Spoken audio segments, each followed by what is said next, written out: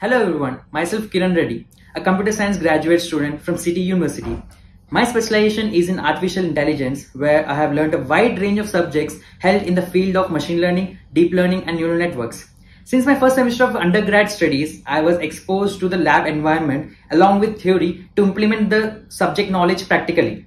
My university gave all of us an easy access to the to work in the research labs and have highly motivated us to participate in various events organized all over India.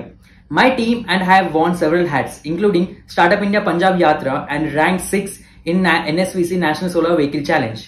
Apart from these, our university has always encouraged students to work in collaboration with industries in which under RISE Lab, Research and Innovation Center for Excellence, I worked on research collaborative project with Tata Motors for developing an engine simulation machine. Here, my major role was to develop the program and to interface the electronic components used. All these experiences and knowledge I acquired from technical events as well as industrial collaborative projects from CT University helped me to get an internship in reputed company named Leap Robots. Currently, I'm working as a research associate in the R&D department of Leap Robotics and working on different projects.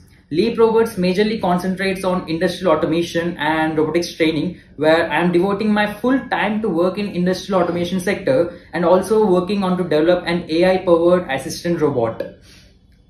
I'm glad to be a student of CT University which was best suited for my research goals and the experience of faculty provided the perfect environment to hone my creativeness. Now I am confident of my capabilities of bringing my experience into play in the real era of work in an industry.